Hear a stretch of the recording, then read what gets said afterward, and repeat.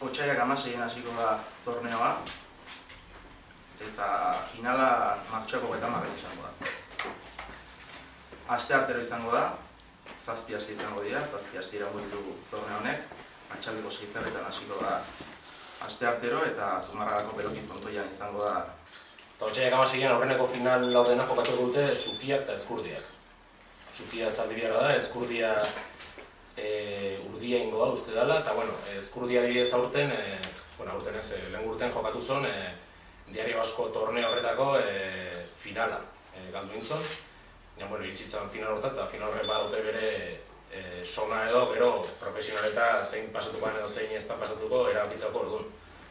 Gero, e, Otxeako gaitairun, herritar batek, e, Aitor Biainek eta Elezkano jokatuko du.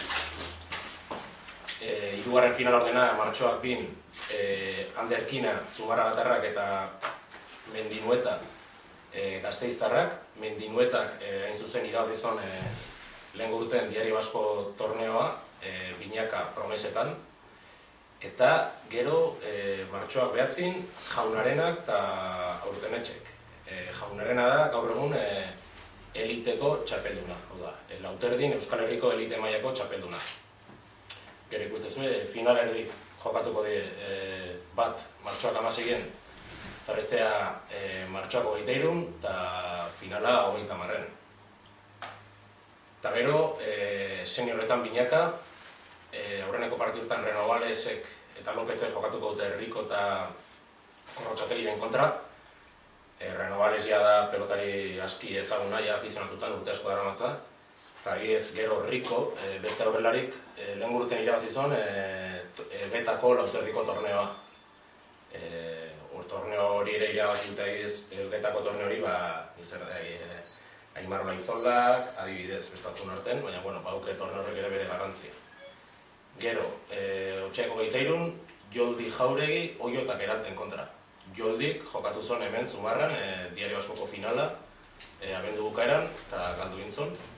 Baina lehen gurten, e, 2008ko ekitaldin irabazkuntza. Gero, e, martxoak bin, Mendizabal gararraga armendariz irureta, Mendizabal, Aitor Mendizabal, e, antzolakoa, hau bai e, elgetan irabazitakoa, eta gararraga e, horioko atzelari bat, hemen e, finala jokatu zuna. Hau da, denak dare, pelotari guzti hau dare, hortxe, salto emateko pronto, e, profesionaleta salto emateko pronto. Martxoak behatzin, e, azkeneko final ordena, Larrañaga uzkudun, ba ez etxea. Larrañaga azpeitiarra, hau, adibidez, egun hauetan e, San Francisco dau, e, mendizabal bezala, ba, haide jokatzen, ean e, Euskal Herriko selekziokin, e, torneo batan, exibizio batzuk behit ematen. Oda, ikusten da maia bat bauketela. Eta honek irabazizon, oain gutxi profesionaletan debuta indon galarragak, e, larrinagakin batea, e, diario baskoko, diario basko torneoa e, seniorretan. Oin egungo izarra hondik e, pasatu die mendikan, Abel Barriola, Juan Martina Irujo, Aimar eta Sierro Leizola, eta bueno, gaur egungo lauterdiko txapelduna da, e, Sebastián González ebai hemen egon da. Gero beste profesional batzuk, Barretxe Araz Mendizabal eta Aritz Lasa Urretxu ere e, torneontako garaia izan da.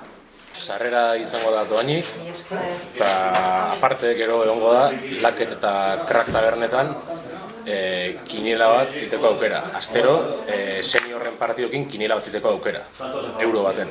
Eta gero ere bai, astero frontoien e, zuzkatuko da saski bat, ba, produktu batzukin, hori da euro baten truke, rifa bat izango. Eta gero ere bai, nahi genioke e, eskertu, ba, hau da, enpresa guztia hauei, lagundu guten enpresa guztia hauei, edo komertzio ertainei, edo tabernei, edo dena dela. Eta jendea bai animatu da.